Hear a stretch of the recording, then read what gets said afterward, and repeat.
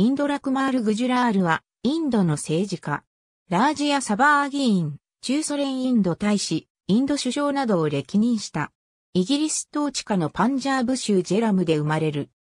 10代の頃からインドの独立運動に積極的に参加し、1942年にはクイットインディア運動の学生指導者として投獄されている。また、学生時代にはインド共産党のメンバーでもあった。インドとパキスタンが分離独立した際にラホールからデリーへと移り住んだ。デリーの地方政治に携わるようになり、1958年にはニューデリー市議会の副議長に就任している。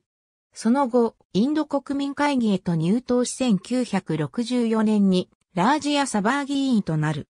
インディラ・ガンディ政権では情報放送大臣などの閣僚ポストを経験した、後に中ソ連インド大使を務めた。1980年代の半ばにインド国民会議から離党し、ジャナタダルに参加した1989年の総選挙では、インド国民会議が敗北し、ビシワナート・プラタップシンを主犯としたジャナタダル政権が発足した。同選挙でグジュラール自身もパンジャーブ州の選挙区で当選を果たし、外相として入閣した。